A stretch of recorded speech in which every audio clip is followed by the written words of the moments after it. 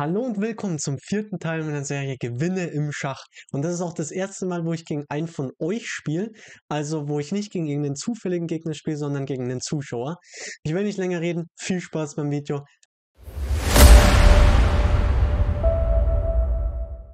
Okay, also das ist hier die erste Partie gegen einen von euch, gegen einen Zuschauer, ähm, gegen den lieben Cliffy08 an dieser Stelle.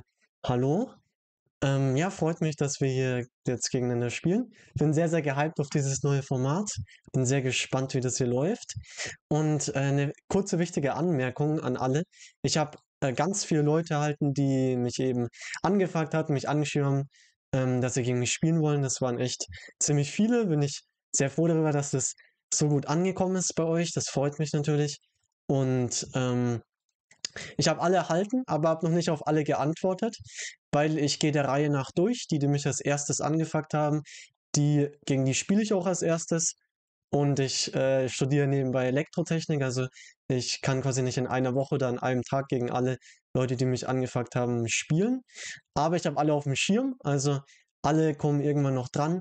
Nur ähm, müssen sich noch etwas gedulden, aber ich habe alle auf dem Schirm. Also ich spiele gegen alle, die mich angefragt haben.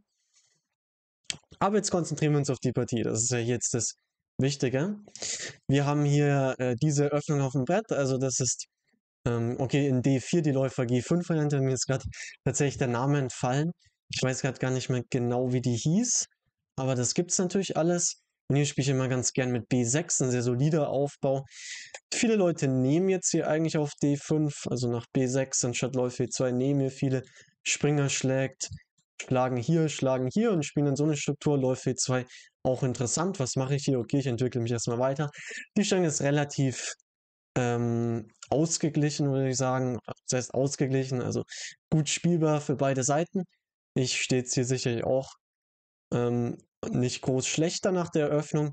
Ist, ist jetzt eine interessante Partie, interessante Stellung, die hierbei rauskommen wird. Tauschen sich nicht unbedingt allzu viele Figuren hier ab. Okay, jetzt schlägt er genau. Und hier ist eine wichtige Faustregel, die man sich wahrscheinlich merken sollte. Mit dem Bauern zu schlagen ist hier gar nicht so gut, weil man hat jetzt dieses B6 gespielt und wenn man diese Struktur mit dem Bauern schlagen spielt, dann ist dieses B6 eine Schwächung eher, weil ja noch so, so C6-Felder oder so schwächer sind und der Läufer ist nicht so stark hier. Ähm, man sollte in dieser Struktur eher den Bauern auf C6 haben und den auf B7. Deshalb ist hier wichtig, in dieser Struktur schlag, schlagen die Leute normalerweise immer mit dem Springer. Hm, genau, und dann diese Variante, genau. Und jetzt überlege ich mir gerade, also ich bin ja nicht mehr in der Theorie, ich, muss ich ehrlich gestehen, was heißt gestehen, also sind jetzt auch schon beim zehnten Zug, aber ich weiß gerade nicht mehr genau, wie man hier spielt. Jetzt überlege ich gerade, ob ich hier mit dem Bauern oder mit dem Läufer nehme. Hm, auch wieder wichtig zu erwähnen. Danach analysiere ich die Partie natürlich noch für euch und auch für den Gegner dann. Ähm, also damit maximal viel, damit ihr maximal viel lernen könnt. Und ja, schauen wir mal, ob ich hier gleich, also der Gegner ist ja sehr hoch bewertet mit 2127, ob ich hier ähm, gewinne oder, oder ob er hier eine sehr gute Partie spielt und ich vielleicht gekleppt werde, was ich jetzt natürlich nicht hoffe. Aber kann auch passieren. Bin gespannt, bin auch sehr gehypt auf dieses Format hier, muss ich ganz ehrlich sagen, dass ich jetzt gegen euch spiele. Das finde ich schon sehr cool, also sage ich jetzt ganz ehrlich. Ähm, finde ich auch selbst sehr nice, dass ich jetzt hier gegen euch Zuschauer spielen kann und so ein bisschen, ähm, ja, also es ist ein bisschen interaktiver, ein bisschen näher an euch. Deshalb gefällt mir sehr gut. Okay, Turm C1. Also jetzt kann ich langsam anfangen, hier sehr seriös zu überlegen. Er droht hier zu nehmen und meinen C7 zu nehmen. Ich habe zwei Optionen. Ich könnte hier einmal C5 spielen, der Zug macht sehr viel Sinn. Oder sowas wie Turm sicherlich auch Sinn. Aber C5 ist sowieso hier mehr oder weniger der Standardzug, würde ich sagen. Widerlegung davon, warum er schlecht sein sollte. Das heißt, ich spiele C5. Der Turm, ich lasse ihn erstmal da. Vermutlich später gehe ich noch nach C8. Aber ja, C5 ist Standard, von daher spiele ich das auch mal. Turm D8 ist wahrscheinlich gleich auch noch eine gute Option ähm, um, um so ein bisschen hier die Dame unter Beschuss zu nehmen. Also als nächstes sollte ich mir auf jeden Fall überlegen, wo meine Türme korrekt stehen. Und ich denke, die Antwort ist ganz klar der eine auf D8 und der andere auf C8. Okay, ich bin gespannt, wie er das hier spielt. Also es ist sicherlich ein vielleicht nicht die spannendste aller Zeiten, aber trotzdem ähm, sehr gut spielbar für beide Seiten. Das könnt ihr ja machen. Also ihr könnt auf D5 nehmen. Dann ist die Frage, nehme ich Bauern oder Springer? Hm, gar nicht so einfach zu entscheiden. Vielleicht, äh, Läufer oder Bauer? Wahrscheinlich nehme ich dann einen Läufer. Weil, wenn ich einen Bauer nehme, ist der vielleicht etwas schwächer. Könnte ich aber eigentlich auch machen. Bin nicht ganz sicher. Muss ich mir noch etwas überlegen. Wenn hier schlägt, ich schlag und er schlägt meinen Bauern, müsste ich wahrscheinlich mit dem Bauern zurücknehmen. Dann habe ich halt diese hängenden Bauern. Hm, ja, könnte man, könnte man bestimmt spielen. Muss ich mir etwas überlegen dann. Ich könnte auch mit dem Läufer nehmen.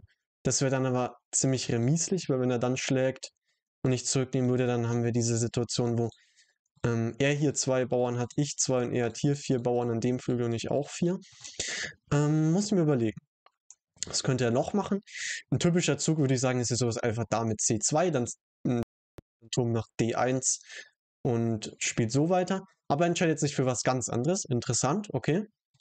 Läufer B5, weiß ich nicht, da bin ich glaube ich jetzt kein so großer Fan von diesem Zug, weil es die Figur einfach zweimal zieht.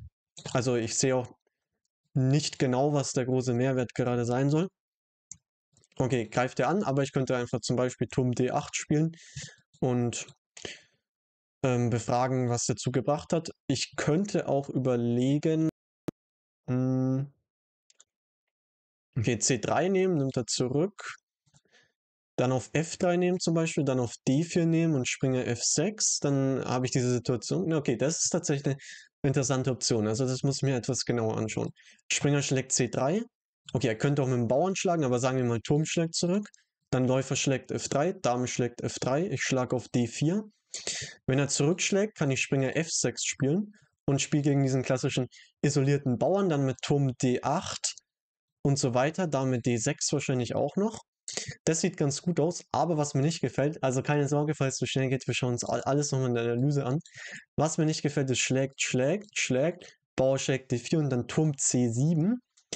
Hm, hat er, ja, dann ist irgendwie hier mein Springer gefesselt. Das, das sieht sehr gefährlich aus. Von daher spiele ich das nicht. Ich spiele Turm D8. Hat er irgendwas bis? Nein. Sieht völlig okay aus. Turm D8. Simple Chess. Und jetzt aber als nächstes drohe ich wahrscheinlich mehr oder weniger hier zu nehmen und dann diese gerade schon beschriebene Idee zu spielen. Er könnte natürlich auch mit dem Bauern zurücknehmen, aber okay, da habe ich auch keine Angst davor, falls er das macht. Dann spiele ich Springer F6, Springer E4. Aber okay, das ist jetzt alles noch ein bisschen weit hergeholt. Schauen wir erstmal, was mein Gegner hier spielt. Hm, gucken wir mal. Falls, falls du 2008 geboren bist übrigens, ist es schon eine sehr gute Zahl, 2127 hier zu haben. Also, ähm, ja, das, das ist auf jeden Fall stark. Ich schlage hier mit dem Läufer zurück. Okay. Alles klar. War wahrscheinlich ein guter Zug hier zu nehmen. Jetzt ist, hatte, also jetzt habe ich nicht mehr diese Option, dass ich da nehme und so weiter. Er könnte auf D7 nehmen. Dann nehme ich dem Turm zurück. Und dann auf C5, aber okay, dann hängt A2, muss man genauer anschauen. Aber vielleicht, ah nee, dann habe ich Quatsch, wenn er hier nimmt. Und auf C5 nimmt, habe ich Trick, Läufer C4, greift Dame und Turm an. Das heißt, das war hier keine so gute Option. Aber dann, ähm, wenn, wenn das nicht so schlimm ist, sollte die Stellung völlig okay sein. Ich habe hier immer noch die Idee, hier zu nehmen, dann hier zu nehmen. Vielleicht noch der A2, wobei den will ich eher nicht nehmen. Dann kommt B3, sieht sehr gefährlich aus. Ja, auf jeden Fall. Wahrscheinlich stehe ich hier, ähm, also wahrscheinlich ist die Stellung jetzt ausgeglichen, vielleicht sogar schon einen Ticken besser für mich, weil ich denke, dieser Läufer B5 war kein so guter Zug. Wir schauen uns dann gleich in der Analyse an, ob ich hier Quatsch erzähle oder ob es stimmt. Aber ich denke, ich stehe hier minimal, minimal wirklich besser. Weil ich jetzt auch immer noch das drohe mit dem Schlagen, dann auf D4 nehmen. Dann habe ich diese angenehme Isolani-Struktur nach Springer F6. Äh, okay, er entscheidet sich dafür. Hier nehme ich mit dem Turm zurück. Und spielt hier Springer E5. Das kann er machen, ja. Dann gehe ich einfach zurück, würde ich sagen. Und wenn er jetzt hier nimmt, dann habe ich immer noch Läufer C4, glaube ich. Ah, dann hat er Feldspringer C6. Okay. Mhm. Dann, ähm, aber was mir hier auffällt, nach Schlagen habe ich vielleicht so einen Zug wie Dame G5 mit einem Doppelangriff. Ich greife ähm, seinen Springer an und äh, drohe gleichzeitig auch matt. Das könnte hier eine sehr starke Option sein. Schauen wir mal, was er macht. Als nächstes werde ich wahrscheinlich hier nehmen und Dame G5 in der Stellung. Okay, er spielt äh, Dame A4, seine Idee vermutlich Springer C6. Okay, macht Sinn. Hm. Jetzt habe ich einmal die Option hier Dame G5 zu spielen. Ähm, dann ist schon die Frage, wie verteidigt er hier, hier das Matt? Äh, Dame schlägt G2. Er könnte auf F3 hängt der. Ähm, er könnte G3 spielen. Aber okay, dann habe ich vielleicht was erreicht, weil dann hat er sich da ein bisschen geschwächt. Ich könnte aber auch dann Dame G5 spielen. Ich denke, das mache ich mal. Ich nehme zu. Wenn er mit der Dame schlägt, das sollte nicht funktionieren, dann kann ich auf G2 schlagen. Das heißt, er muss mit dem Bauern zurückschlagen. Und jetzt Dame G5 sieht okay aus. Auch Turm C8. Okay, die Frage ist Dame G5, dann spielt er G3. Wie kriege ich jetzt hier meinen Angriff weiter? Dame F5 wäre dann Zug, um Dame H3 zu spielen. Oder Turm C8. Ähm also Turm C8 ist auf jeden Fall hier eine sehr gute Option. Und ganz ehrlich, ich spiele ich auch. Weil meine Idee ist jetzt, also ich habe hier quasi wieder einen fiesen Trick am Lauf. Meine Idee ist jetzt, dass ich jetzt Dame G5 spielen will mit einem Doppelangriff. Wenn er jetzt hier irgendwie H3 oder so spielt, nicht aufpasst, dann würde Dame G5 kommen, ist tot matt und der Turm hängt. Das heißt, er muss ja reagieren. Und wenn er hier schlägt, das, das würde mir zugutekommen, dann habe ich die offene Linie. Und dieses Dame G5 rennt mir ja nicht weg. Das kann ich auch noch im nächsten Zug oder wann auch immer spielen. Das wird immer in der Stellung bleiben. Er sieht die Drohung stark auf jeden Fall. Also er hat gesehen, dass ich das gedroht habe und es hier verhindert. Gut gespielt. Ähm ja, Dame G5 ist immer noch eine Option. Dann kommt der. Also Turm C3, sehr guter Zug auf jeden Fall. Ähm ich könnte auch nehmen und den spielen. Mhm. A5 ist eine Option. Nervig, dass der immer hängt. Zugegebenermaßen. Turm C7 ist auch eine Option. Vielleicht spiele ich das sogar. Turm C7, weil seine Idee ist jetzt auch Turm C1. Und dann könnte ich hier mit Turm C8 antworten. Ja, ich glaube, das spiele ich einfach mal. Turm C7, dann würde sich zwar prinzipiell vielleicht viel tauschen, aber ist gar nicht so schlimm. Wenn er jetzt zurücknimmt, dann kann ich einfach nehmen. Turm C1, ich könnte auch überlegen, dann Dame G5, aber dann kommt G3. Ja, wobei, G3, dann kann ich ja hier nehmen. Ähm, wie verteidigt er das dann überhaupt? Hm, gar nicht so einfach zu sehen. Wahrscheinlich müsste er ein F3 spielen, aber okay, das ist dann auf jeden Fall eine gute Option. Ich mir gut in Erwägung ziehen. Ja, was ist denn hier mit Dame G5? Wenn er F3 spielen muss? Hm. Ja, das sieht eigentlich, weil dann schwächt er auch seinen König sehr stark. Ich spiele mal hier Dame G5, Droh matt. Ich denke, er muss F3 spielen. Ich sehe keinen anderen Zug, ja. Also auf G3 kann ich einfach hier klopfen. Ähm, ich denke, er muss F3 hier spielen. Und dann werde ich wahrscheinlich nicht nehmen. Ich könnte dann auch hier nehmen und die zwei Türme gegen Dame spielen. Könnte ich machen, aber ich habe eine andere Idee noch. Meine Idee ist dann hier zu nehmen. Dann muss man den Turm zurücknehmen und damit D2. Dann drohe ich hier ganz viele Sachen. Ich drohe matt.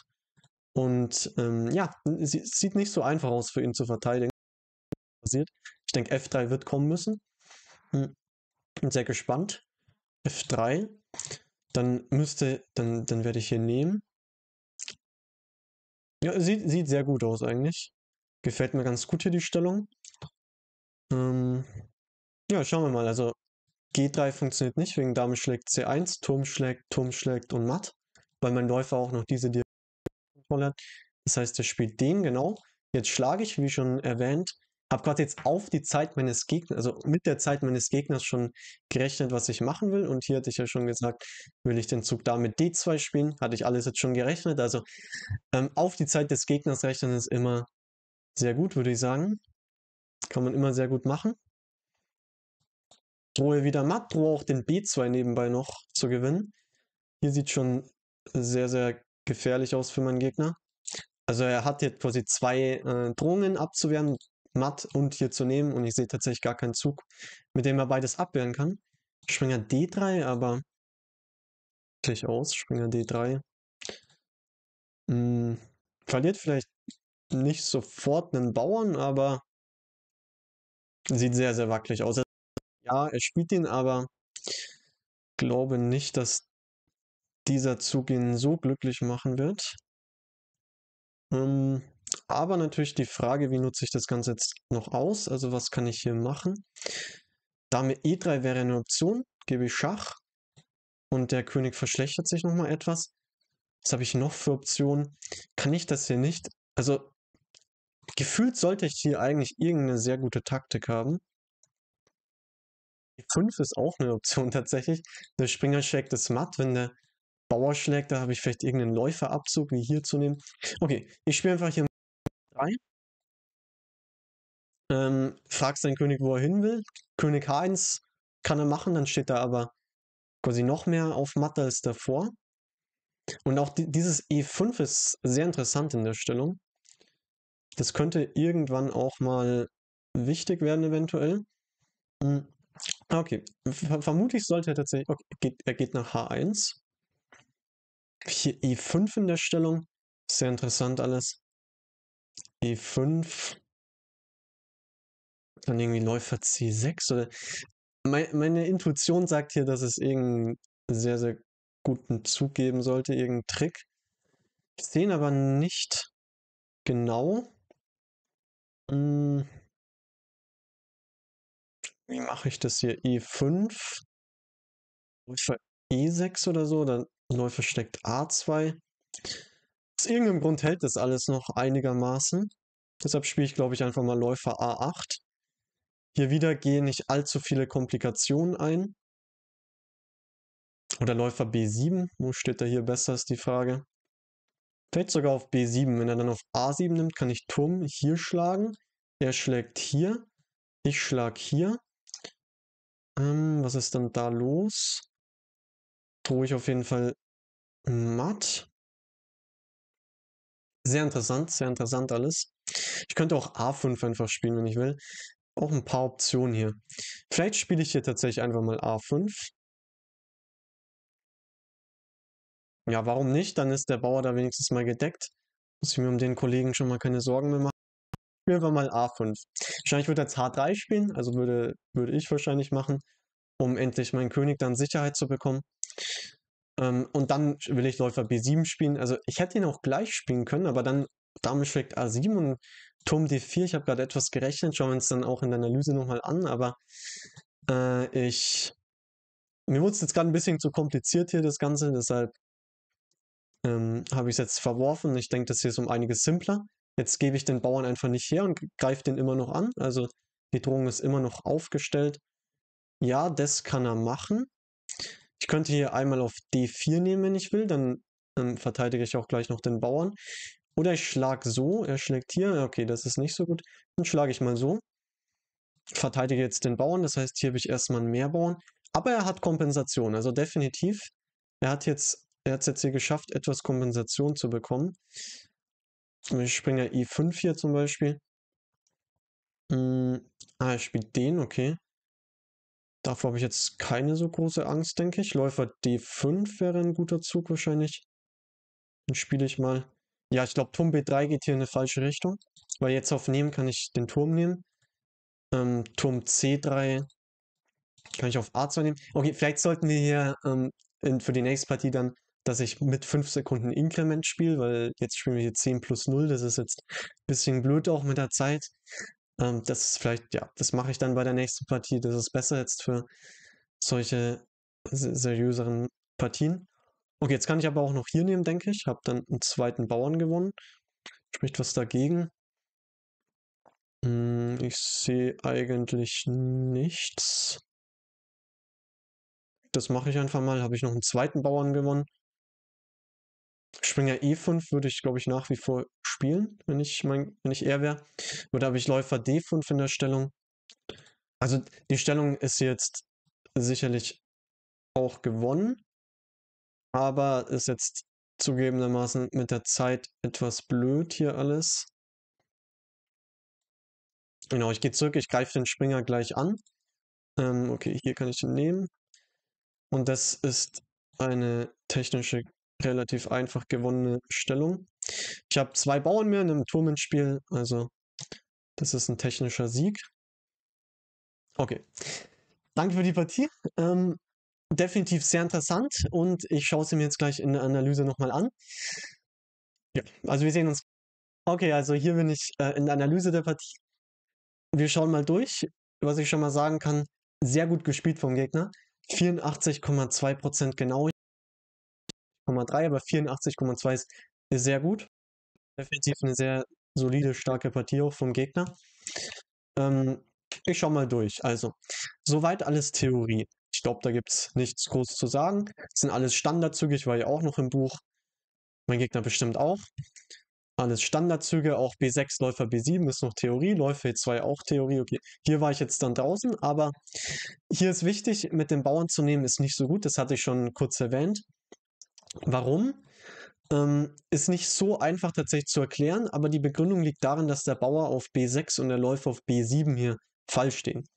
Vielleicht erinnern wir uns an Stellungen, ich kann die mal ganz kurz aufstellen, diese ganz charakteristischen Stellungen, wo sowas dabei rauskommt. Und sowas ganz ähnliches haben wir jetzt hier und hier, ähm, falls Leute D4 und oder Schwarz, also Schwarzspieler das spielen, wir wissen, dass man hier immer mit C6, D5 diese Struktur aufbauen sollte und B6 da eher eine Schwäche ist. Und genau dasselbe ist jetzt hier, eben auch in der Partie der Fall. Ähm, wenn ich dem Bauern zurückschicke, dann habe ich eine etwas schlechtere Version. Deshalb ist ganz klar besser auch laut Engine. Springer schlägt D5. Okay, er nimmt auf E7, Dame schlägt. Das ist alles normal. Also das würde ich, hätte ich auch gemacht. Rochade. Engine sagt Ungenauigkeit, das ist wieder ganz klar irgendein komischer Engine-Schwachsinn. Also es ist ein guter Zug. Engine geht jetzt auch wieder um, sagt, das ist völlig okay. Springer D7 und okay, Turm C1 ist auch okay. Ich hätte mir jetzt hier schon langsam überlegt, auf D5 zu schlagen. Und okay, ich hätte mit dem Läufer zurückgenommen und dann Turm C1, aber macht vielleicht auch keinen großen Unterschied. Zuerst Turm C1, C5 passt. Läufer B5. Ja, und jetzt habe ich ja diese Option gehabt, das hatte ich auch gerechnet, mit Springer schlägt C3 und das hättest du mir nicht gegeben, wenn du zuerst genommen hättest hier auf D5. Ähm, okay, aber du hast mir jetzt diese Option gegeben und ich hätte das hier spielen können, auch laut Engine. Und dann hier nehmen. Wenn du zurückschießt, stehst du schlechter. Aber okay, ich hatte recht. Also Turm C7 ist hier sehr gefährlich. Den hatte ich ja noch gesehen. Äh, aber die Engine sagt hier irgendwas anderes. Ah, hier Turm AD8. Und hier hat man tatsächlich eine bessere. Okay, das macht Sinn. Man hat hier quasi eine bessere Version, wie wenn der Läufer auf D5 steht in der gleichen Stellung. Also wir hatten es ja jetzt in der Partie, wo ich zuerst Turm D8 gespielt habe. Es ist auch ein guter Zug. Also wahrscheinlich gibt es da jetzt keinen großen Unterschied. Aber hier ist vielleicht eine leicht schlechtere Version als in der Partie, weil ähm, der Läufer den Turm etwas blockiert, äh, als in der Analyse, was ich gerade gezeigt habe, weil es etwas blockiert. Ah ja, hier dieser Läufer B5-Zug, ähm, genau, den hatte ich jetzt kurz übersprungen, da hatte ich ja gesagt, der gefällt mir nicht so. Auch laut Denshin kein so guter Zug, ist ganz klein hier, Mini-Ungenauigkeit, aber damit C2 ist ja besser. Oder Springer schickt D5. Aber ich habe gesagt, ich würde Dame C2 spielen, dann Turm F D1 und dann zum Beispiel Dame B1. Da hat man eine ganz harmonische Stellung als Weise und kann die dann weiterspielen. Okay, Springer D7. Turm C1, C5, Läufer B5, Turm D8, schlägt, Läufer schlägt. Soweit normal. Läufer schlägt D7 ähm, ist wahrscheinlich nicht so gut. Was hier besser gewesen wäre, ist sowas wie Dame E2 laut Engine. Jetzt frage ich mich aber, warum könnte ich dann nicht hier nehmen und dann hier nehmen? Ja, also wenn man hier schlägt, das meinte ich auch in der Partie, dann hat man diese hm, Isolani-Struktur, der ist sehr schwach, Dame B4 und alles liegt in der Luft. Der Springer blockiert sehr schön das Feld von dem Isolani. Und auf Turm C7, äh, also Turm C7 ist ja der Zug laut Engine, warum es okay ist. Und ich verstehe jetzt auch die Idee, ah, okay. Weil wenn ich hier nehme, dann kann Weiß hier nehmen. Wenn ich zurücknehme, dann hängt nämlich dieser Turm. Das habe ich nicht gesehen in der Partie, in der Vorausberechnung. Aber es kam ja sowieso anders. Also das ist quasi dann die Erklärung, warum Dame 2 hier gut ist. Und dann kommt Turm D1. Also das macht dann am meisten Sinn. Okay, aber du hast hier genommen. Und Springer E5 gespielt. Ähm, ja, Springer E5 jetzt hier eine Ungenauigkeit zu geben, ist auch fraglich. Also ist wahrscheinlich einer der besten Züge. Okay, Turm D8. Auch Ungenauigkeit. Witzigerweise ist auch einer der besten Züge. Und hier Dame A4. Das ist wahrscheinlich ein Fehler, weil die Dame steht hier auf der falschen Seite. Und die Frage ist, warum steht sie auf der falschen Seite? Weil ähm, du mir jetzt die Option gibst, hier Dame G5 zu spielen und der G2, den kannst du dann einfach nicht so einfach verteidigen. Wir schauen uns mal diese Stellung an und sagen wir, du spielst hier den Zug B3, um diese Drohung aus dem Spiel zu nehmen. Wenn ich jetzt Dame G5 spiele, dann hast du die zusätzliche Option, hier Dame G4 zu spielen und dann hast du die Drohung verteidigt und auf Schlagen schlagen. Du hast jetzt hier zwar die Solani-Struktur, aber das ist quasi das geringere Übel. Und Dame A4 hat eben das Problem, dass jetzt Dame G5 schlimmer ist für dich. Ich habe zuerst genommen und Turm C8 gespielt. Ich hätte ja auch Dame G5 spielen können. Auch okay, dann G3 und Dame F5 hier jetzt gegeben. Aber okay, ich habe mich hier für Turm C8 entschieden. Der Zug ist auch okay. Turm C3 und jetzt Turm C7. Ähm, die Engine sagt, interessant, Dame B7. Sie will ja also diese Diagonale aufbauen. Jetzt wieder, wenn die Dame auf D1 steht, hättest du Dame G4 spielen können. Hier müsstest du jetzt F3 spielen und das ist eine Schwächung. Das will ich eigentlich provozieren. Das habe ich ja dann auch in der Partie versucht zu provozieren, indem ich hier, ich habe hier quasi gehofft, also ich bin ja, ich bin ja sehr gemein im Schach. Ich habe gehofft, dass du Turm FC1 spielst. Das war quasi mein Bluff mit Turm C7. Ich wollte, dass du das spielst, damit ich dann Dame G5 habe und du jetzt nicht mehr Turm G3 spielen kannst, weil jetzt der Turm hängt. Hm, das war quasi meine Hoffnung. Und du bist, kann man sagen, mehr oder weniger drauf reingefallen. Also, das ist jetzt auch kein Blunder oder so, aber hier sieht man auch schon laut Engine, die Engine geht immer ein bisschen weiter in Richtung schwarzer Vorteil. Die Stellung wird immer unangenehmer zu spielen. Es gibt jetzt hier ganz viele Löcher. F3 ist schwach hier, alles ist jetzt schwach. Springer D3 ist bester Zug. Tatsächlich, okay, das wundert mich. E5 ist hier echt der beste Zug, den hätte ich ja angedacht. Und dann auf Bauer schlägt E5, Läufer E6. Auch das habe ich überlegt, aber ich dachte, ich dachte, kann, also ich dachte, du kannst, mein Gegner kann hier Dame E4 spielen. Und die Engine sagt nach Läufer schlägt A2 stehe ich hier besser. Okay, da habe ich nicht ganz genau gerechnet, aber jetzt macht Sinn, weil Läufer B1 droht und so. Ich habe mich für den etwas natürlicheren Zug und auch guten Zug entschieden. Ähm, Dame E3 und dann gefolgt von A5. Ja, A5 passt. Miss sagt der Engine nur, weil E5 irgendwie 0,05 oder so besser gewesen wäre. Okay, Läufer B7. Genau, das hat auch gepasst. Dame B5. Ja, und hier ist jetzt schon der Punkt, zu viele Schwächen. Ich glaube, der D4 kannst du gar nicht mehr verteidigen. Turm C4 kommt Läufer A6. Und hier habe ich es jetzt dann eben geschafft. Also wie, wie habe ich die Partie gewonnen? Ich habe die Partie gewonnen, indem ich möglichst viele Schwächen provoziert habe. Wir sehen, diese Felder, diese schwarzen Felder sind alle schwach. Der D4 ist schwach und ich habe mir selber keine Schwächen gemacht. Und deshalb, dann musste ich deine quasi nur noch ausnutzen. Und hier, ja, die Stellung ist klar gewonnen. Ähm, ja, also hier jetzt zum Beispiel nach G5. Okay, du hast ja auf Zeit verloren. Musst dann mit 5 Sekunden Increment spielen, aber die Stellung wäre dann hier auch gewonnen gewesen. Noch technische Sache. Trotzdem nochmal danke für die Partie. Ich hoffe, du hast hier was gelernt, auch dann mit der Analyse. Und ihr könnt mich gern weiter anfragen auf äh, chess.com, wenn neue Leute zuschauen. Also ich spiele gegen euch Zuschauer weiterhin. Fragt mich einfach an, schickt mir da unter schachmattv-tobi ähm, Anfragen, dann machen wir einen Termin aus. Und wir sehen uns beim nächsten Video. Bis